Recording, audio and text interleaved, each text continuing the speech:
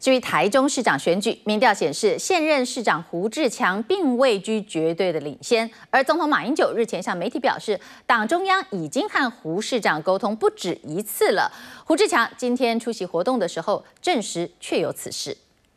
台中市长胡志强参加历史建筑修复工程时，到场绿营市议员拱他快点表态参选市长。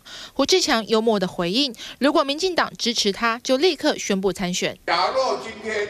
黄月斌议员、蔡雅玲议员站起来支持我连任，我就立刻宣布。市长不要怕，勇敢的说出来。对于台中市长胡志强是否参选连任，总统马英九日前向周刊爆料，他已和台中市长胡志强谈过不止一次。胡志强也证实，总统马英九十一月时曾找他谈过市长选举的事。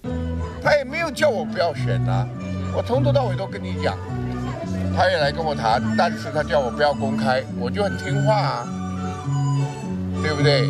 那总统说来谈你，来找你谈了很多次，对不对？也没有，他说党中央不止一次。蓝绿势力版图此消彼长，中台湾是个关键战场。台中市长胡志强到底选或不选，牵动各方角力布局。联合报张宏昌台中报道。